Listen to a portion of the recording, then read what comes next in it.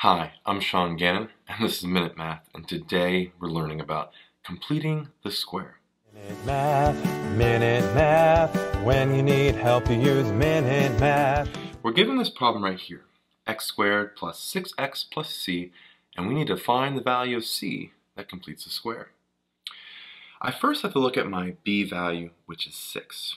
So the c value that we're looking for is equal to that b value, which is 6, divided by 2, all squared.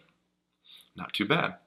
6 divided by 2 is 3, and 3 squared, well, is 9.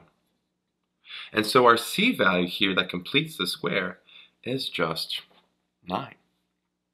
I hope this video was helpful for you, and if it was, please subscribe to this YouTube channel and like this video. This helps us make more free math lessons for you and for everyone else.